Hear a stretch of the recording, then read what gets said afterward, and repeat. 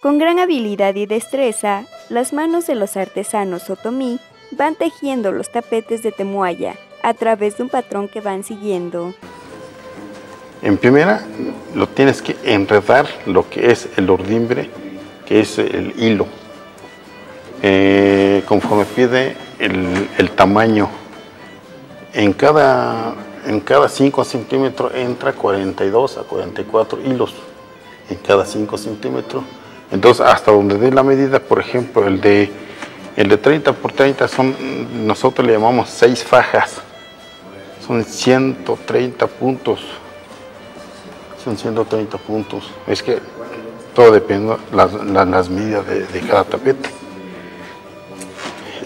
Entonces se enreda, se cuenta y pasa, nosotros le llamamos lo que es la trama inicial y pasando la trama inicial ya se empieza a anudar el tapete.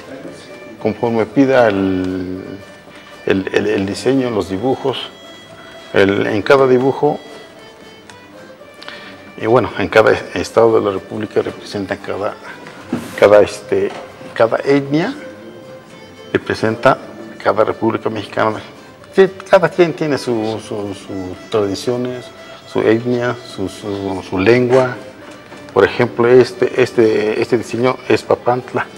En la sociedad cooperativa, que está ubicada en San Pedro Abajo, reúne a más de 100 artesanos quienes elaboran estos tapetes anudados a mano que tardan aproximadamente 45 días en realizarlos.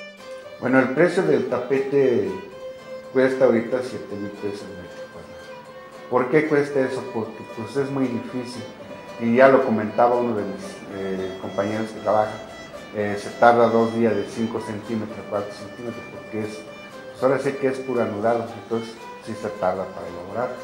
Para los artesanos otomís, la elaboración de los tapetes que están hechos con hilo de lana traída de Argentina y Nueva Zelanda sirve como sustento y es un orgullo realizar esta labor. Es un orgullo de elaborar los tapetes porque es un arte, un arte desde tiempo atrás hasta la fecha. Entonces muchas artistas lo valorizan mucho, que, que no podemos este, perder ese tipo de arte. Los artesanos piden apoyo al gobierno para difundir su cultura.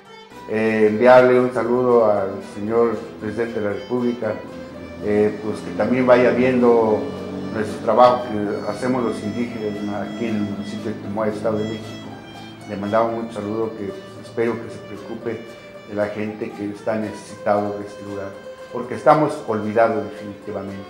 Al mismo tiempo también le mando un saludo al señor gobernador del estado, que también el señor del Mazo, que se acuerde que, aquí tiene hijo en el municipio de Timoya que están necesitados. La sociedad cooperativa te invita a visitar sus instalaciones.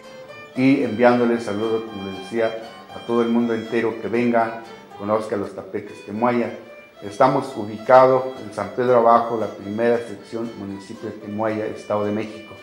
Aquí no se encuentra, si no pueden llegar directo, pueden pasar en el municipio de Temuaya, informar con el director de turismo o con el presidente municipal, con la regidora.